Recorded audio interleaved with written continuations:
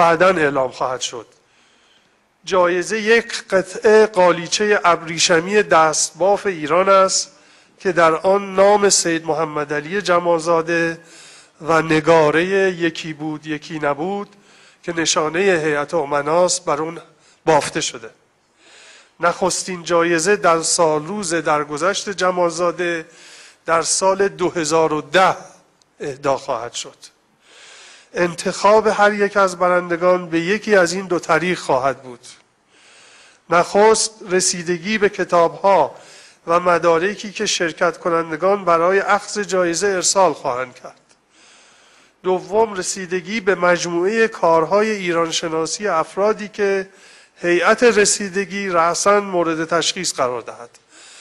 این جایزه جهانی است که برای جمالزاده با این مشخصات تعیین شده است.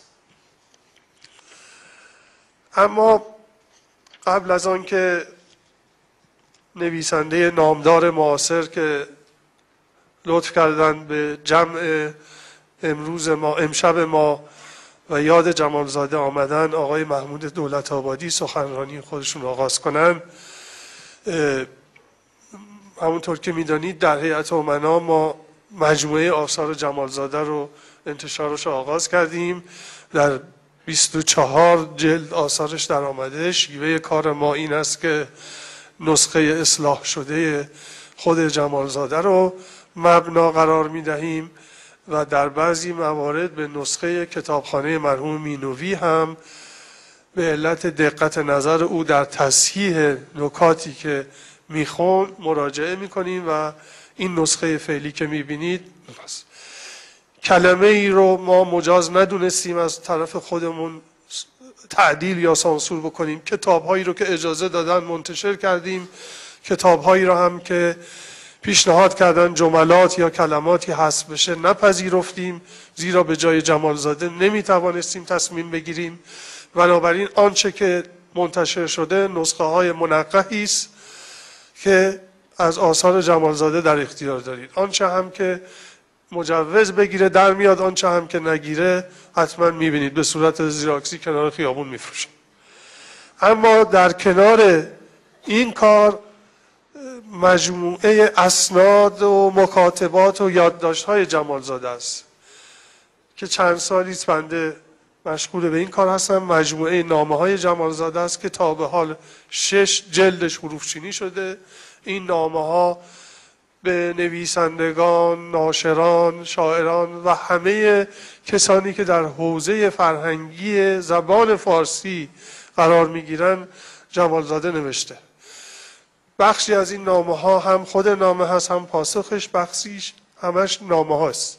مقداریش رو خود نویسندگان در اختیار ما گذاشتن مقداریش رو خود جمالزاده و بخش دیگرش هم که از سوئیس وقتی که کتابخانه و یادداشتاش می آمد در اختیار کتابخانه مرکزی قرار گرفت که بخشی از این یادداشت ها به عنوان گنجینه جمالزاده جلد اولش با همت خانم سوسن اصیلی آماده شده که منتشر میشه. نامه ها را هم بنده.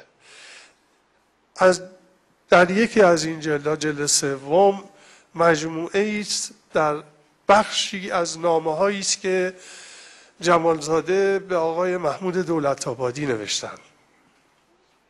در دورانهای مختلف. من قبل از اینکه ایشان سخنرانی شد یکی از این نامه ها رو انتخاب کردم براتون می‌خونم و بعد از آقای دولت آبادی خواهش می‌کنیم که تشریف بیارن.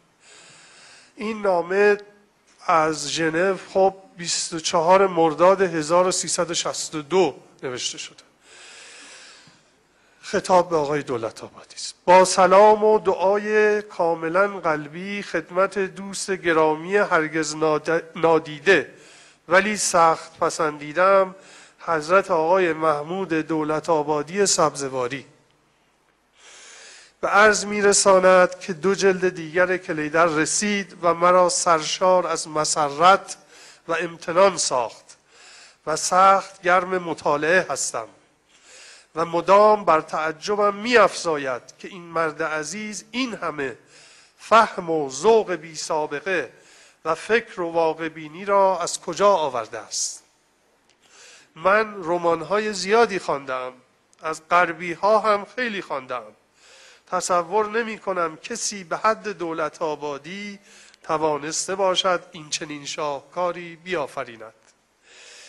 بر من مسلم است روزی قدر و قیمت کلیدر را خواهند دانست و به زبانهای زیادی ترجمه خواهد شد. روزی را می‌بینم که دولت آبادی عزیز ما جایزه نوبل را دریافت خواهد کرد. البته ممکن است من پیرمرد آن روز نباشم. ولی اطمینان دارم ترجمه کلیدر به زبانهای زنده دنیا دولت آبادی را به جایزه ادبیات نوبل خواهد رساند. کلیدر برترین رمانی است که من تا کنون خواندم محمود جان محمود عزیزم دلم می‌خواهد بتوانم آنچه را که با مطالعه کتابهای تو به خصوص کلیدر در میابم نه تنها به هموطنانم بلکه به تمام کسانی که به کارهای تو علاقه من هستند بگویم. ولی می‌بینم خدا را شکر چنان مینماید که لاعقل هموطنان با ذوق و با فهم خودشان دستگیرشان شده. چنان که در همین اواخر از دور و نزدیک به من نوشتند که کلیدر را خواندند و آنها هم مثل من خود غرق تعجب هستند. من به قدری یادداشت برای تهیه مقاله برداشتم که خودم گیج شدم و منتظر فرصت هستم.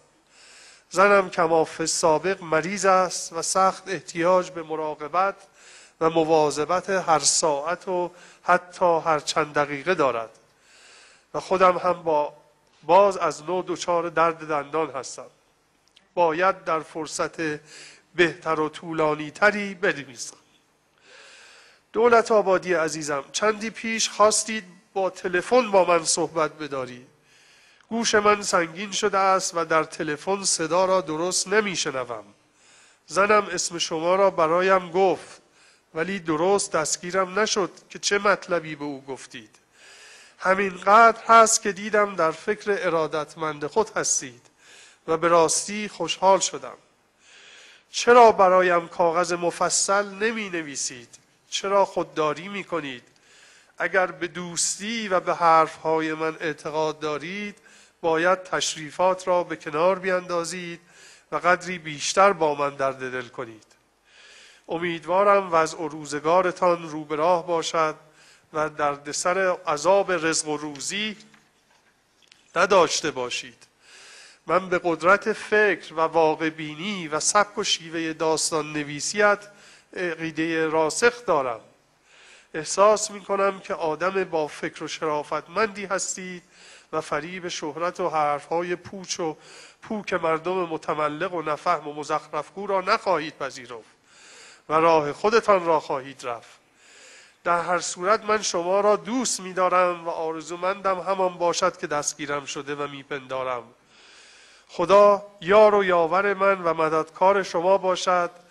با ارادتمندی و طلب توفیق سید محمد علی جمالزاده.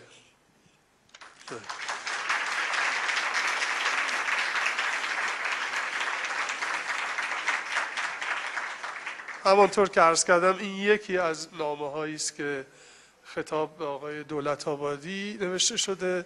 مجموعه نامه هایی که خطاب به ایشون و دیگر نویسندگان شاعران استادان نوشته شده. اینها در یک مجموعه ای در چندین جلد منتشر خواهد شد.